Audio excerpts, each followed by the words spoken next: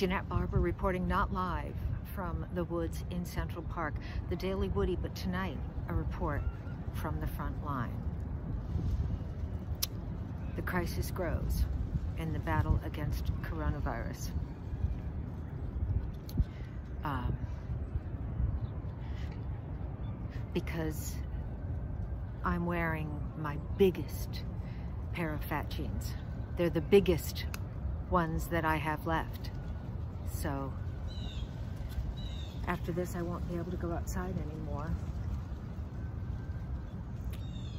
My caftan is, uh, you know, fitted now. It's snug. It was made out of that jersey fabric, you know, you can do anything with that. You shouldn't do anything with that, but you, uh, but what you, you, you, but you can. Um, this is my last pair of fat pants. So, you know, in the beginning of this crisis, we didn't think it could get this bad. And now we see. I think, I think it has something to do with my eating. Even though I'm trying to stay healthy. Last night, I had oatmeal four times. And, uh, and I don't get, and it's the uh, individual size packets, four of them, uh, that I had. And it's not the kind with sugar or, you know, maple flavored, uh, marvelously, it's just plain old oatmeal. There's nothing in it except rolled oats and oats. It's Just, that's all it is, is some dried oatmeal. So, um, you know, that's a version of health food. Um, honestly. And uh, so there's no sweetener in it. So uh, I put a little bit of molasses not a lot, I mean literally like a half a teaspoonful. And uh, molasses, which by the way is very good for you. I don't know if you know this. Um, very high in iron and in um, calcium. The number of dogs here, it feels like I'm put out here as bait. But anyway, uh, so I put a little bit of uh, molasses uh, in the oatmeal and stirred that up, but that really isn't quite sweet enough. So of course I added uh, honey although I have read, and I'm sure you have too, that local honey has does something to you. It, it makes it so you don't get allergies um, uh, anymore, and um, and I don't have allergies, and I bought the honey uh, locally at a store nearby. So that makes honey almost something like something you should have. You know what I mean? And then um, uh, the almonds, but um, nuts they're high in protein. They're so good for you. They're practically pills. Honestly, I might as well be taking pills. So I, I, threw those in. Now, then I had this little, uh, you know, sometimes problems which turn out to be blessings in the long run. Well, after I get all this far, I've got no milk. And of course, I'm not going to go out to, you know, Virus Central to get milk. But what I did have was a bottle of Parmalat, which I had heard of Parmalat. It's some kind of a milk thing that it's in a box and it's uh, shelf stable. And then when you uh, use it, it tastes, um, well, it serves the function of milk. I, I, think that's a better way to put it. But um, since I wanted the oatmeal, I figured I'll try this uh, Parmalat. And when I got up there, I realized I had scored at the grocery store and found a box of yellow raisins because I didn't start to uh, panic uh, or impulse buy or hoard nearly on time because I didn't think anything was going to really be that bad.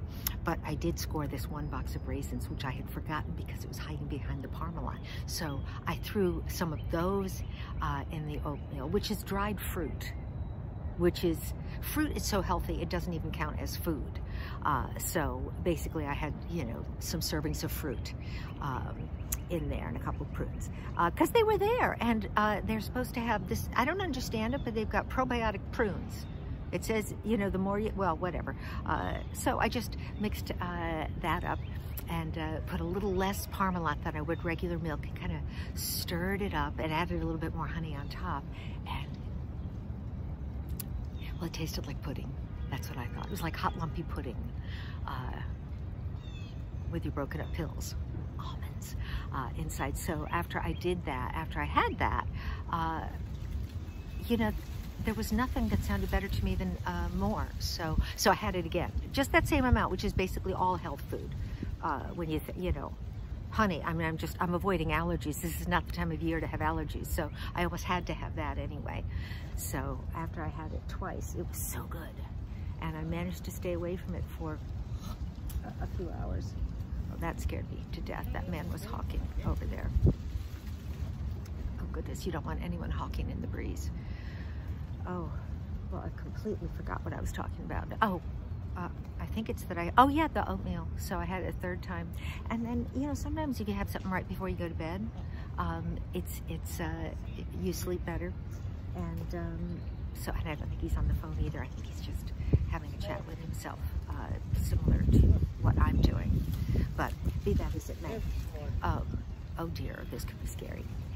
Um, oh no, he's going away. He just wanted me to know that he was smarter than me, and I don't doubt it in the slightest. Now, what was I talking about before I was almost killed?